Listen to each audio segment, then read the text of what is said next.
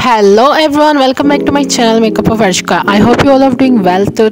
चलिए वीडियो को करते हैं start today's makeup tutorial is a graphic eyeliner makeup look तो जो आप किसी भी वेस्टर्न ड्रेस के साथ कैरी कर सकते हैं, अगर आप लोग सेम तरह के आई मेकअप लुक करके बोर हो गए तो मैं आपके लिए न्यू वीडियो लेके आई हूँ, जिसमें मैंने सबसे पहले अपने आईब्रो को फिल कर लिया। इसके बाद मैं अपने आई पर एक फ्लैट ब्रश की हेल्प से अच्छे से आई बेस को अप्लाई करी। इसको अच्छे से अप्लाई करने के बाद आप लोगों ने एक डैम ब्यूटी ब्लेंडर लेना है। इससे, इसके हेल्प से मैंने अपने सारे इसको अच्छे से ब्लेंड कर दिया अपनी आइज़ पर, जिससे आपका जो भी ग्राफिक आईलाइनर और आई मेकअप है, वो अच्छे से उभर के आएगा। चलिए वीडियो को, चलिए अपना आइस मेकअप स्टार्ट करते हैं। इसके लिए मैंने एक ब्लू कलर का आईलाइनर लिया है।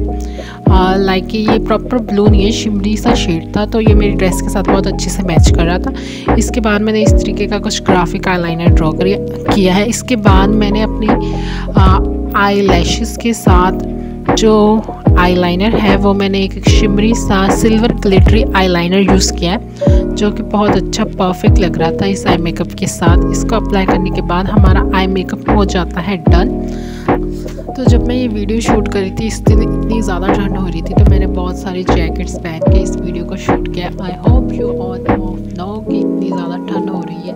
तो इसके बाद मैंने अपने फेस पे एक ओलिम्पिया का पेन के एक बेस लगाया है जिसके आप लोग देख सकते हैं। बहुत अच्छी कवरेज देता है आपके फेस पर। अगर आप लोग बिगिनर हो तो इस तरीके की फाउंडेशन और बेस यूज़ कर सकते हो। तो इसको अच्छे से ब्लेंड करने के बाद मैंने अपने फेस पे करनी स्टार्ट कर दी कॉन्टोरिंग जो भी कॉन्टोरिंग है, मैंने बहुत अच्छे से अपने फेस को शार्प करने के लिए हैवी कॉन्टोरिंग की है, जिसके आप लोग देख सकते हैं कितना ज़्यादा डार्क कलर है। तो इसी तरीके से मैंने अपने नोज़ पर भी सेम कॉन्टोरिंग करना स्टार्ट कर दिया है। इस कॉन्टोरिंग को मैं अच्छे से ब्लेंड कर दूँगी with the help of beauty blender तो आप लोगों को भी इसको अच्छे से ब्लेंड कर लेना है टैप टैप कर कर।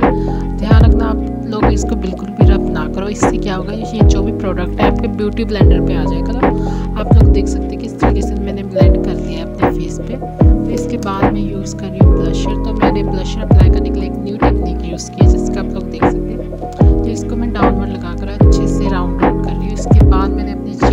पर लगाना स्टार्ट कर दिया हाईलाइटर हाईलाइटर के बाद अब मैं लगा रही हूँ टू टाइप ऑफ़ लिपस्टिक इसमें मेरे पास एक डार्क है और एक लाइट तो जब भी आप एक डार्क लिपस्टिक को लगा रहे हो, उसके साथ एक न्यूट कलर की लिपस्टिक लगाने के बाद एक न्यू शेड आ जाता है, जो बहुत बहुत और हमारा final look I hope you like this video